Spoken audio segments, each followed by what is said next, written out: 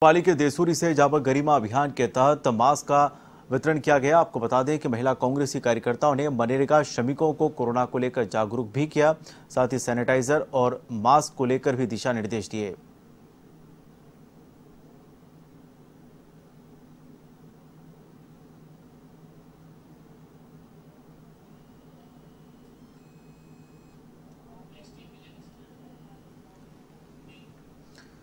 चलिए खबर राजसमंद के कुमारिया से जहाँ पर तहसील के लापसिया ग्राम पंचायत के रामपुरा तालाब